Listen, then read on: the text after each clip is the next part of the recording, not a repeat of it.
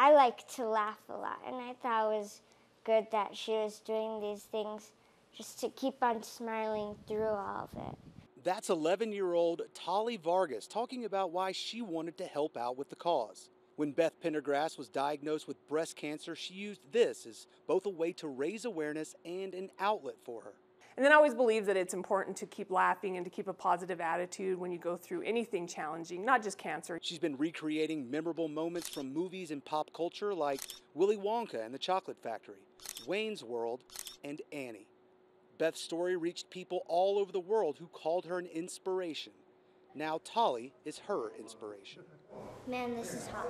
She is a remarkable young girl and she has taught me a lot and so it was an honor to be able to do a picture with her and to become friends with the family. Tolly knows what she has. Stage 4 neuroblastoma. And despite two transplants and five rounds of chemo, she's never let it get her down. Just laugh through it. The tears she sheds today are because of the love and support she's got from her family. My parents and her, especially, them have treated me the same throughout this whole thing, and that really helps.